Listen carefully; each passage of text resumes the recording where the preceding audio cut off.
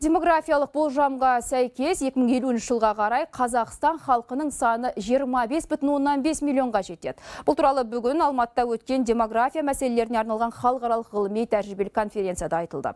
Жиынға қатысқан ғалымдар экономика және демография саласындағы өз тәжірибелерімен және зерттеу нәтижелерімен бөлісті.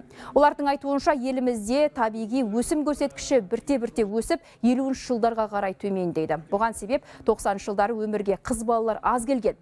Сондықтан Қазақстандағы демографиялық өсім тұрақтылығын сақтау үшін әр отбасында кем дегенде төрт және одан да жоғары бала өмірге келуі тиіс.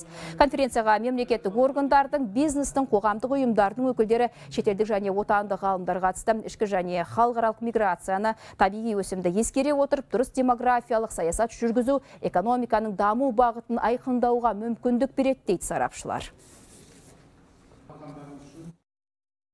Халық санына байланысты экономика қалай даму керек? Қай регионда қай жерде қандай кәсіпорын ашуымыз керек?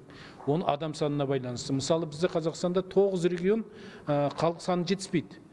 Жұмыс күші жетіспейтіндей регионға жатысып жатыр сонымен қатар біздің кейбір региондарда жұмыс орны жетіспейді. Өкіметке парламентке осы демографиялық мәселе бойынша өз ұсыныстарымызды береміз.